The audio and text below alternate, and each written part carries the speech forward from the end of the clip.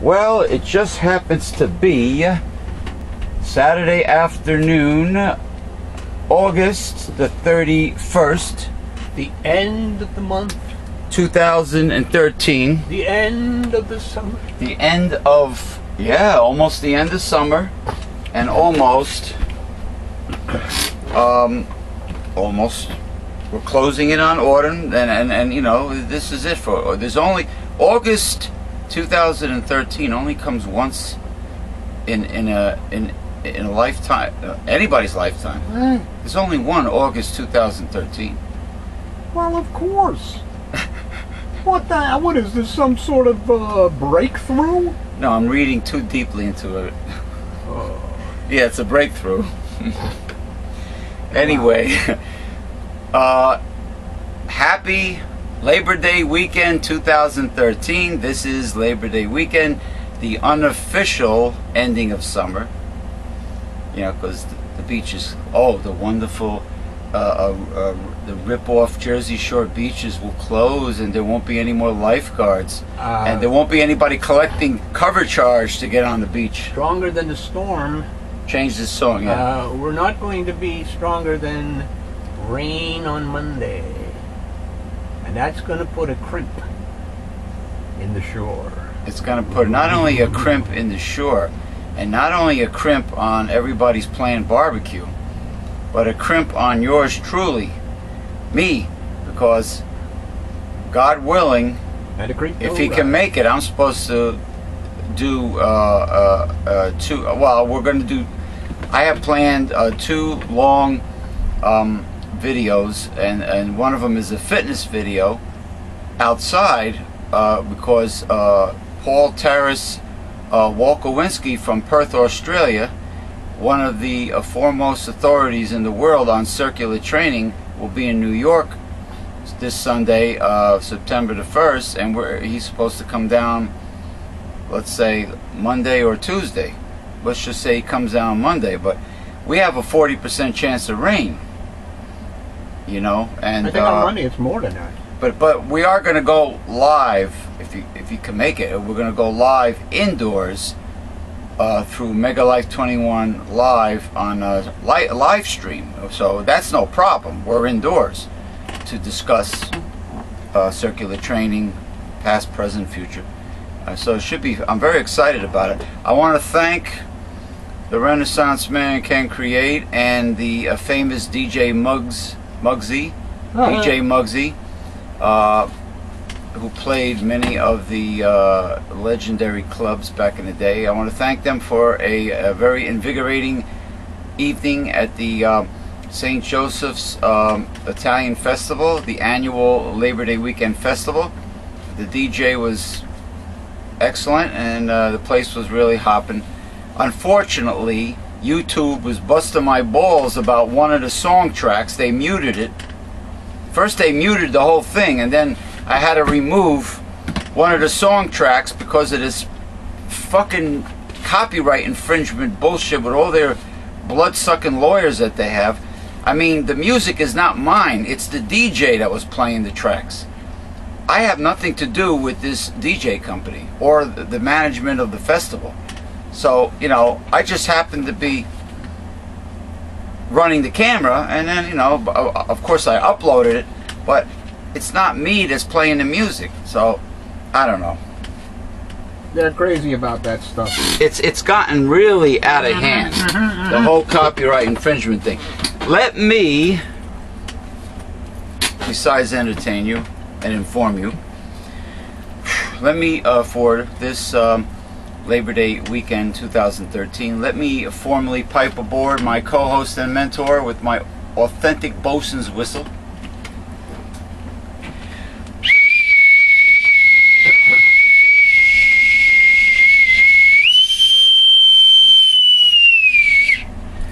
Arr. Welcome aboard our progressive liberal starship, the one and only, the Reverend Dr. William J. Eisenman. How are you feeling this mo- this Labor Day? I almost said Memorial Day weekend. This Labor Day weekend 2013. Well, Memorial Day was the beginning. The Labor Day is the end. That's true. That's when the beaches. That's when the rip-off Jersey Shore opens up, and Labor Day is when the rip-off Jersey Shore closes. But of course, there are all you um, jabronis from this part of the country go down there, fight traffic, suck the carbon monoxide, uh, pay the cover charge to go on the beach, pay to park, uh, pay to change into your bathing suit if you're stu- if you're that stupid, and pay over five bucks for a hot dog or whatever the hell it cost on the boardwalk. Uh, Vinny, uh, Iron Man Vinny Blake did a video about what it cost him at Citi Field to go to a Met game, New York Mets game. They totally raped him over the coals. Oh yeah, it, it was. It's it's horrible, you know. I mean, the the obscene salaries of um, these professional athletes because of their agents and the owners are are just willing to pay it. I mean, nobody's holding a shotgun to their heads. They pay it, and then the owners turn around and they take it out on the, on the fans with astronomically expensive tickets. But of course, Americans never boycott. They don't know the meaning of the word boycott. All right, let me begin with my little monologue thingy. Okay. Dr. Bill. What? Hi. Hi. What? Germany Oh, produces twice as many cars as the United States, Whi- while paying their workers twice as much. who buys all those cars? I don't know, but it- it's interesting how their productivity is so so much better than the U.S. and they pay them twice as much. And isn't it isn't it funny how this are, these are deliberate choices What's a deliberate choice? to do that kind of stuff? In America, we don't do it. We let the lobbyists, the big boys, and the big corporations make our laws for us. Yeah, We don't do it. I, I guess the um, we could. I guess the European Union politicians do not have their hand that far out to be greased like the American politicians They will one day, though, because because everybody's becoming Americanized. and a whore. A whore. In other words, everyone has a price for the million dollar man, Ted DiBiase. Uh-huh. You know, that was back in the 80s, but, you know, the, the, the, there's a lot of wisdom to that little slogan of his. Of course. Everyone has a price. Sooner or later, and when you do the Million Dollar man's going to get you. Exactly. In such a culture, there is no such thing as character. No, they buy. When they, you are up for sale, just give me the price. There's no character. Isn't that like when the uh, the hooker tells the uh, the man, uh, you know, uh, oh, you're so very handsome. Uh, uh, oh, it'll cost a hundred dollars. Oh, you don't have any money. You're not so handsome anymore. So, um, but you said America buys its lovers. Always did. Foreign policy. Foreign policy. Well, okay. Um, here goes. Next, number two. While everyone was talking about Miley Cyrus's ass. Ah! the Fukushima plant is leaking 300 tons of contaminated uh, water into the sea every day. And it's in the fishies. And and They're finding the and- fishies and over what- by California. And what's in the sea besides sea life? Currents. And the currents take the water all over the world. But it's already in the fish. It's been there for over a year or whatever. 300 tons per day of, uh, I, I assume, radioactive contaminants from Fukushima, and because the Japanese government finally came clean and admitted that this is happening, unlike the American government that denies that Well, anything know- happened. I think we. I think the uh, green people got either four or five of our nuclear plants closed down. There's still about 99 going. Good this for them. Let me salute the, the green movement in the United States and throughout the world. I salute you with my lucky shillelagh. Oh, look at John. Look at John. Blackthorn shillelagh. Okay, now, number three. The world spent $2 trillion on war in 2012. Huh. One twentieth of that $2 trillion could have eradicated poverty. In America. Or in the world. Not in the world. It would never happen. Well, But certainly in America. About 135 billion okay. would do the job. Once upon a time, it was like something about 25 billion could have done it.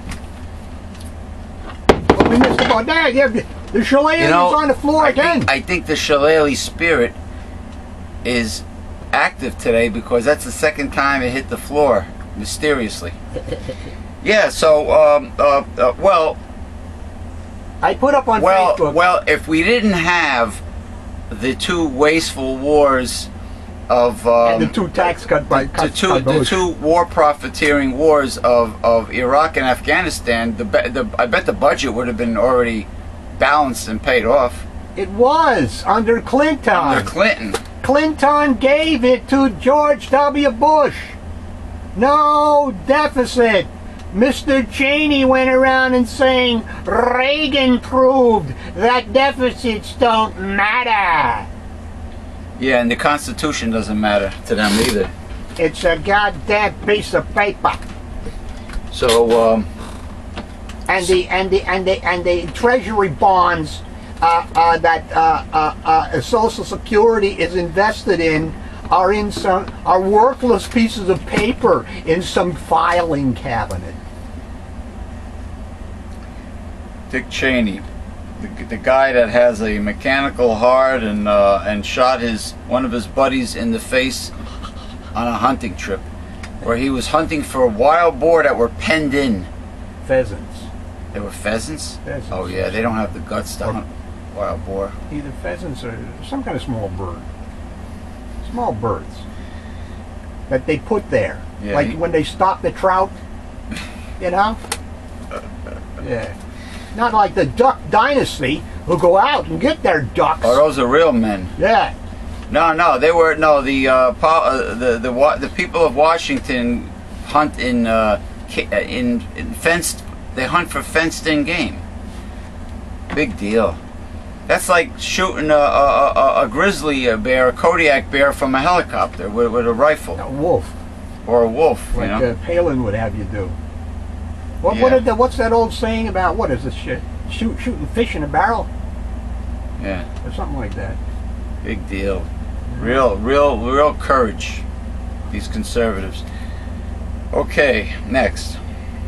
Companies are now talking to governors in the Midwest because they're trying to sell or they want to sell the water in the Great Lakes. Now, this goes back to people like the CEO of Nestle, G.W. Bush's plan with the CEO of Nestle. Uh, and what T. Boone Pickens admitted he was trying to do is to buy up and control all of the aquifers, the world's drinking water supply. So they have total control over the food and water, which, which means they have total control over mankind on this planet. Privatization. Corporations, the corporate plutocracy, yes. So that's what's going on now. Well, that's what's going on with like uh, places like Detroit and uh, Columbia, South Carolina, and all these other places that are in problems. Camden, Trenton. Uh, uh, they, the private uh, firms and stuff, they want to buy up all of the commons, the things that we own. They want to buy Mhm, up. mhm. Okay, Now- take it away from us. That's right. Now, speaking of Detroit, you know, uh, there are packs of uh, of uh, abandoned or and or feral domesticated dogs. Once domesticated. Once domesticated, Now they're running have- wild. They're running wild, forming packs and attacking people. Now, to all you animal lovers who po- post their pets on their photos of their pets dressed in human clothes and baby clothes on Facebook and and treat them like children and say, "Oh, you, oh, my little baby, my adorable little baby." Let me tell you something. If if they got hungry enough forget about uh, all the loyalty and love your little baby gives you. They will make dinner out of your two Mm. two gluteus maximuses, your ass. Mm. bite your ass off. They'll form packs and they'll attack you. So an animal is an animal.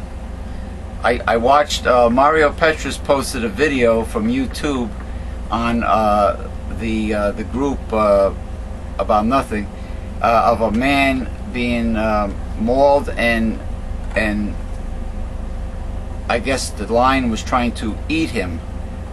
I guess the guy lost so much blood and, and he you know this was in like a zoo. The guy lost so much blood he must have he's passed out or went into shock or something because his torso was twitching Like, and the lion was ready to eat Devour him. him. He was he pull, they, they were trying to pry them apart, and the lion won't let go. So the lion dragged the guy by the shoulders, and I guess they're very strong. And uh, I saw his torso twitching, and they finally shot. I don't know what took them so long. They finally shot the lion in the head a few times. It took a few handgun bullets to put the lion down and they, they the guys uh, they took him out of the cage. His heart had stopped so they, they did cpr and it took a while but they finally got his heart going and they saved him but he had tooth holes from the teeth in his legs and everything and he lost a lot of blood. Now um, you know um, these animals are wild. They might show you affection at first you know because you are you are the source well not literally you you you feed uh, them you feed them and then eventually they're going to look at they're going to eat the food that you feed them and then they're going to look at you and they're going to have the must be a horrible thing, like that, that woman jogger that became the lunch of an alligator. Must be a horrible thing to become the lunch of a wild animal. oh in florida Anywhere. Well, what what is she What doing future. what is she doing jogging alongside of a freshwater uh, a body of fresh water in florida you don't do that I have no idea, but uh, because they they they they uh, hey, they eat they're not even safe in Central Park.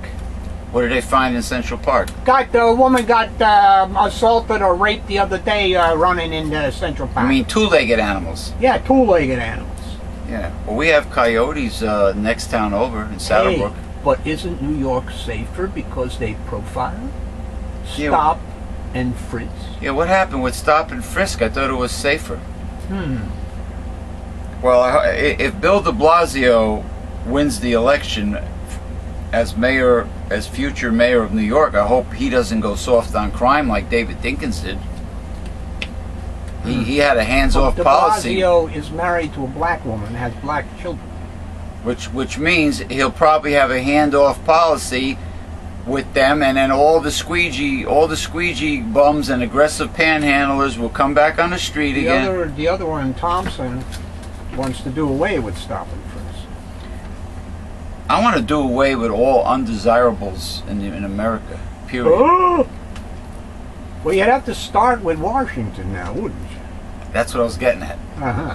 You got to start with You leadership, know, cut off the snake's head. right? Yeah. If you have a, a poisonous, if you have a king cobra, and you want to disfuse him or her, you got to cut off the head. You know. like they did with Medusa, the Gorgon. Okay, now, millions have died from um, Agent Orange Mm. through its resulting illness, cancer, and other things. Very unfortunate. The uh, the, the South Korean government is uh, it doesn't look it doesn't help the people that are already dead or sick, but the South Korean government is slapping Monsanto and Dow with a hefty fine. Ah, But like I said, that doesn't undo. how many the- years late? that doesn't undo What about Vietnam? Right, that doesn't undo the damage, and I and and I and there's a there's a banner on Holistic Health Talk that I posted showing these poor Korean children that have deformities and that are sick from, you know, chemicals like Yeah, this. what about our soldiers who came back? exactly. the same thing. Now, um, Monsanto and Dow deny responsibility of course. And the U.S. government denies this tragedy and covers it up. Well, it covered up in the beginning. It never happened. There was no such thing. If it happened, it happened.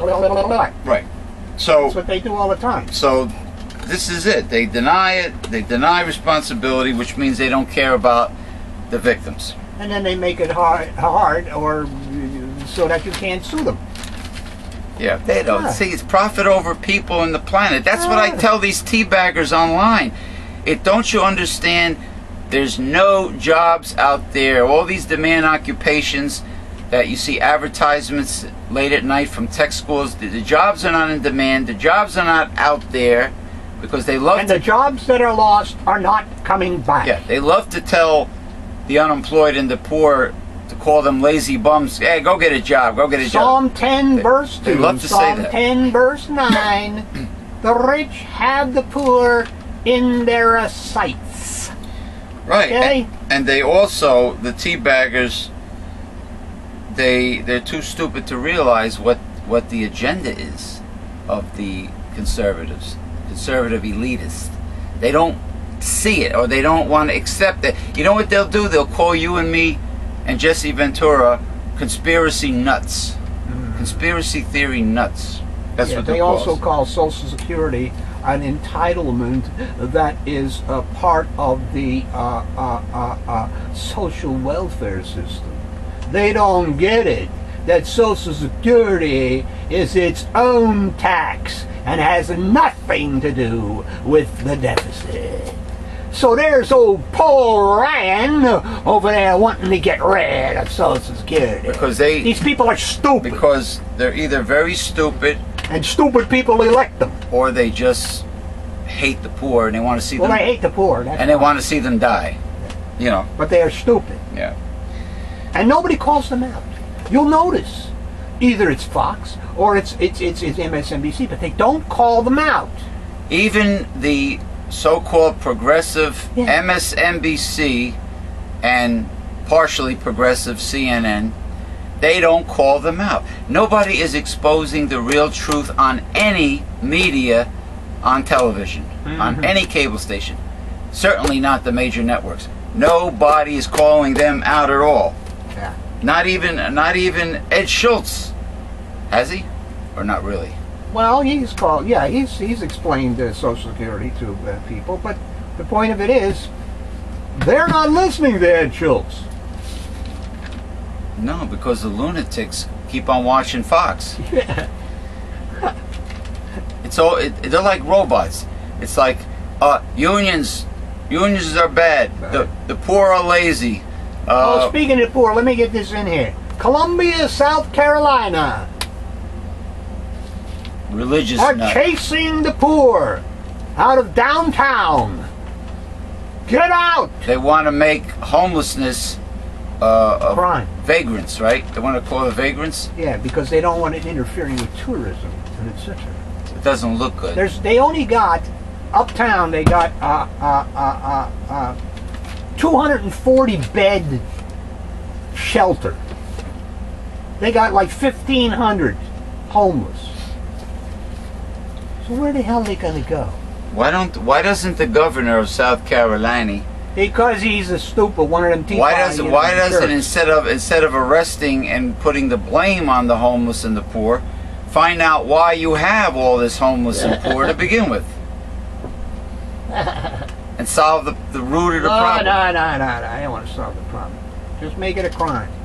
So they want to. They Then they want. have an excuse to throw them in jail. So they want to sweep the, the poor and the homeless under the rug, arrest them so they get they have free slave labor in privatized prisons Yeah. in, in South Car- South Carolina. South Carolina. Carolina.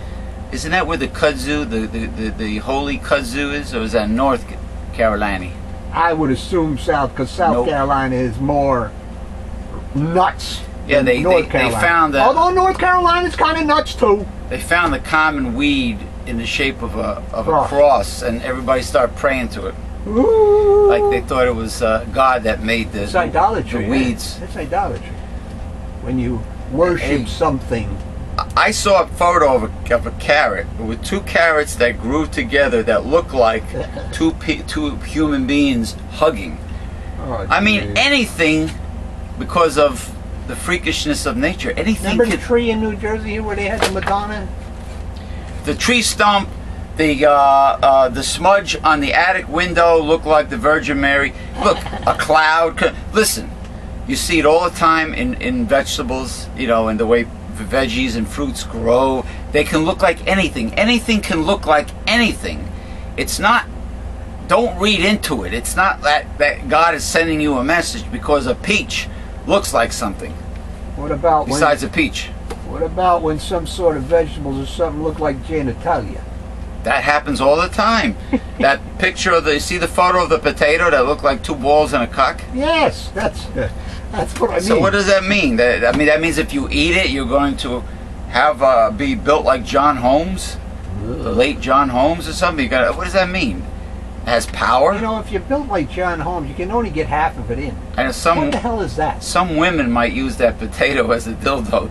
They might spray it and preserve it or something. Ah. All right, here goes. The United States and the United Kingdom, but I believe the United Kingdom might have backed down from this, but the U.S. definitely intends to strike Syria with Tomahawk missiles. Now,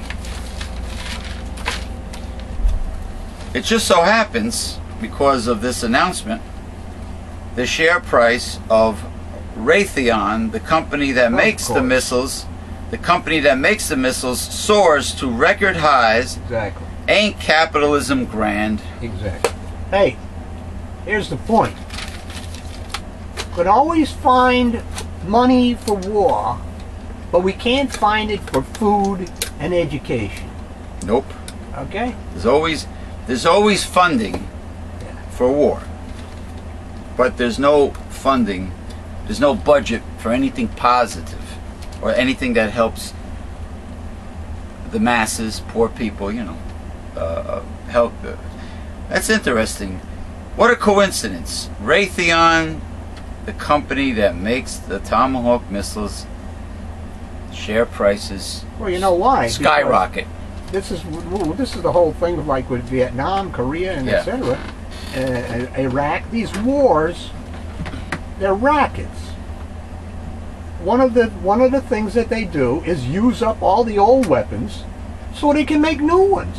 And make more money. And that makes more money for the five private contractors. Bingo! Yeah.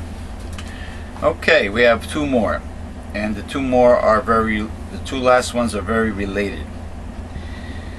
McDonald's grosses ten billion dollars per year. All right. U.S. taxpayers